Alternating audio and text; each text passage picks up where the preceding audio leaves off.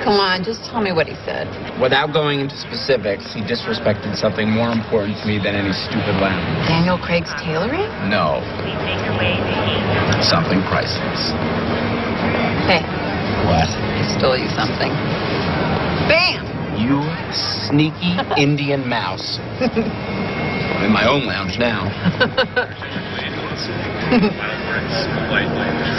Look, I know this is kind of dumb to say, but I really like being your friend.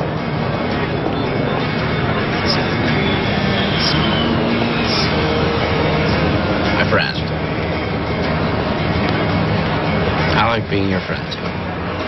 Yeah. Merry Christmas, Schmidt. Merry Christmas, Celia.